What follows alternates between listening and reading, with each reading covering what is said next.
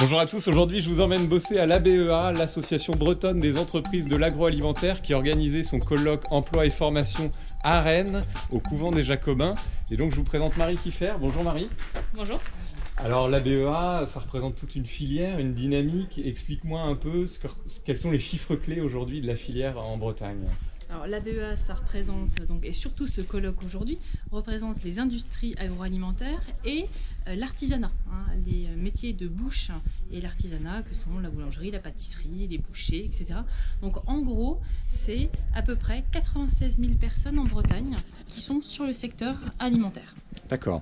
Et alors ce secteur, j'ai vu qu'il recrutait énormément. Explique-moi un peu quels sont les besoins de main-d'œuvre, c'est ça on dit? Alors ouais, exactement. Alors même si c'est pas un joli terme, hein, structurellement l'agroalimentaire a toujours drainé un certain nombre de, de candidatures, enfin de recrutements et de postes à pourvoir. Et aujourd'hui, avec la reprise économique constituée à peu près depuis le deuxième euh, semestre 2017, avec la réouverture de l'ensemble des recrutements sur la totalité euh, des secteurs hein, en Bretagne, eh bien l'agro, j'ai envie de dire, cherche encore un peu plus. C'est-à-dire l'année dernière, il y avait combien de- d'emplois pourvus ouais. et cette année, combien de postes à pourvoir concrètement? Concrètement, l'année dernière, environ 9200 CDI donc, euh, ont été pourvus dans l'agroalimentaire et en 2018, une tendance qui reste au moins équivalente en termes de recrutement, tout en sachant que vous avez du CDI, mais l'agro recrute au travers aussi du CDD et de l'intérim. Donc on est encore sur une- un, un nombre plus important de postes à pourvoir. Ok, alors quels sont les profils recherchés par les entreprises?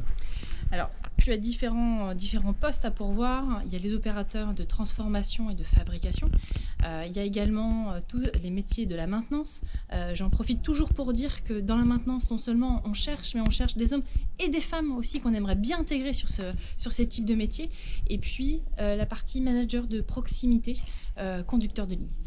D'accord. Et des jobs aussi d'avenir, euh, des oui. jobs du futur, Ouais, on va les dire jobs du futur, les jobs émergents dans, dans l'agro. Euh, en volume, ils représentent évidemment moins de nombre. En revanche, ils sont vraiment sur des métiers stratégiques comme euh, la R&D, l'innovation et euh, globalement euh, la qualité, l'hygiène euh, et la sécurité environnement. Merci Marie, une filière de plus en plus connectée. Donc si ça vous intéresse, postulez à travers l'ABEA ou plein d'autres réseaux qui existent. Merci, à bientôt.